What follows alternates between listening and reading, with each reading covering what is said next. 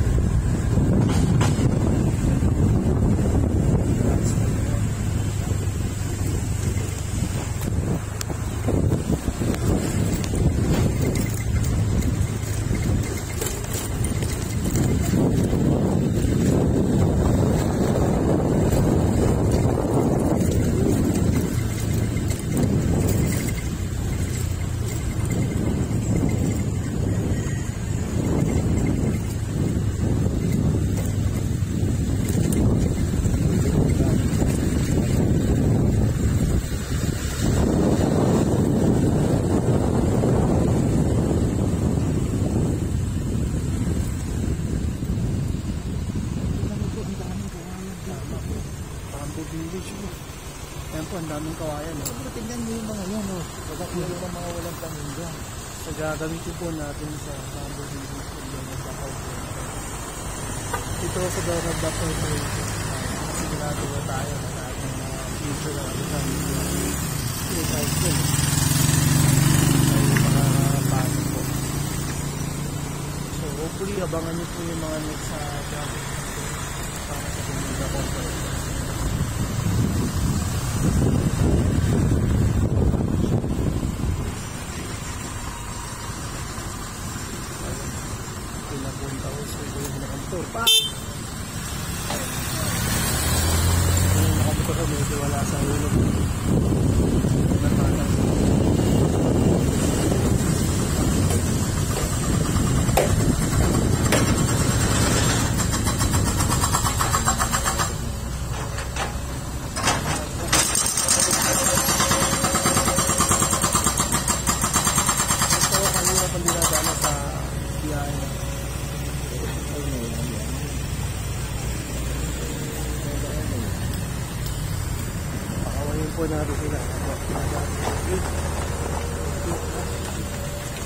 Road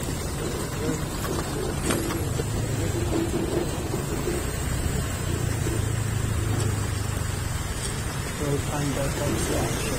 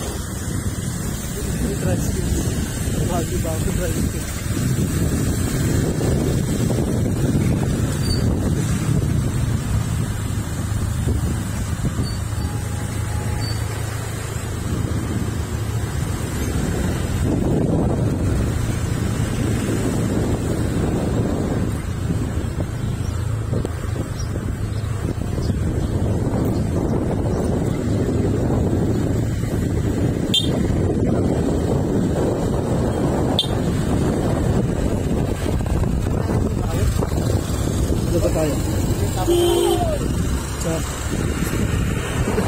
Sino ko lang ba natin? Sa charity daw ba tayo?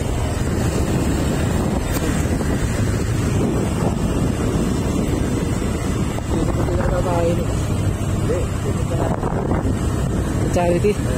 Ah, yun ba yung pupunta ka ba?